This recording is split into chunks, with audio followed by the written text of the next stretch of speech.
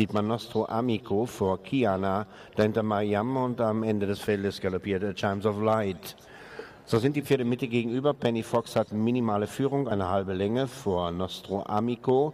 Dahinter Izzoli gemeinsam mit Außen Don Orlando, der jetzt den dritten Platz übernimmt, vor Mariam mit Kiana Außen und am Ende des Feldes Chimes of Light.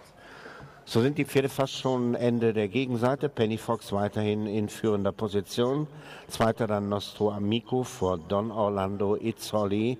Dahinter Kiana mit Mariam und am Ende weiterhin Chimes of Light. In dieser Formation geht es in den Schlussbogen hinein. Zwei Längen Vorteil inzwischen für Penny Fox vor Nostro Amico gemeinsam mit Don Orlando an der Außenseite.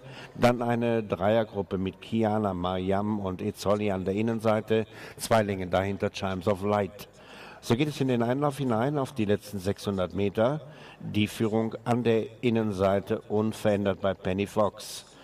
Nostro Amico und äh, Don Orlando an der Außenseite greifen an. Weiter innen kommt dann, oder außen Mariam. Am Ende ist nun Kiana gemeinsam mit Chimes of Light. Die Führung weiterhin bei Penny Fox. Ganz in der Innenseite kommt Izzoli, mächtig auf Touren. Nostro Amico in der Bahnmitte tut sich nicht gerade leicht aus. Das ist Mariam zur Stelle. Mariam an der Außenseite. Mariam mit Nostro Amico. Der kommt jetzt auf Touren. Nostro Amico. Da hat Terry Hell ja lange gewartet, entscheidend gewartet und dann doch noch zu zugeschlagen vor Itzoli, dritter Mariam und dahinter Penny Fox mit Don Orlando vor Chimes of Light und Kiana.